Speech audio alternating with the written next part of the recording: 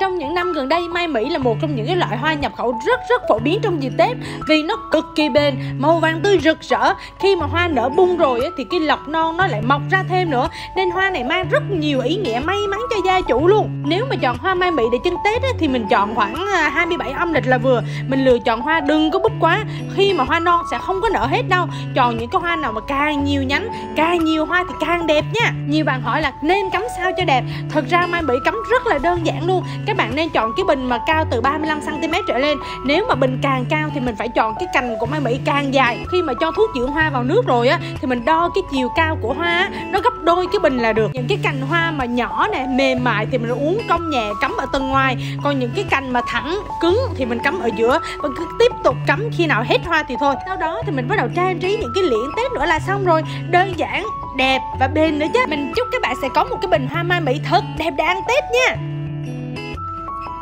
Mm-hmm.